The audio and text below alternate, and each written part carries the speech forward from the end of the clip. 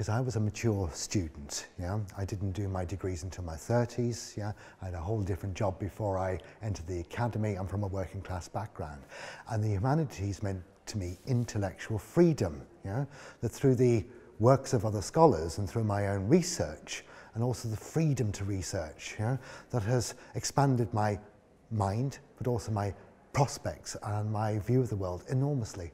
the humanities are incredibly important to me on a personal level and a professional level. Um, so I've been inspired by the humanities since I was a teenager and a student myself. Um, works of literature, works of history um, have always really excited me. And I'm lucky enough now to hopefully be able to do that for my own students um, and to, to, to talk about these things with, with young people and, and, and hopefully reinforce the importance of this for generations to come it's my day-to-day -day life. I, I have the great honour and privilege to work with students every day who are exploring the world, exploring themselves, and I see them sort of develop as, as individuals, and I see them have these um, discoveries and encounters with the world around them. So the humanities to me is, is just what gets me through the day.